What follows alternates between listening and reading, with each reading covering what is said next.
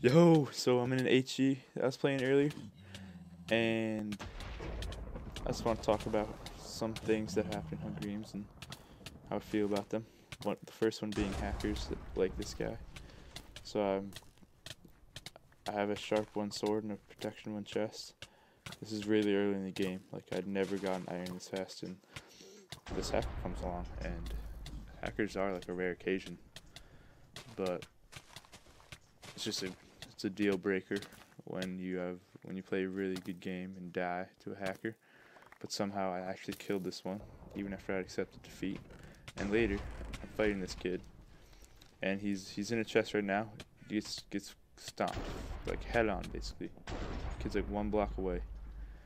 And then later in the game, I get mage into this tower after I'd been trying to throw him for a while.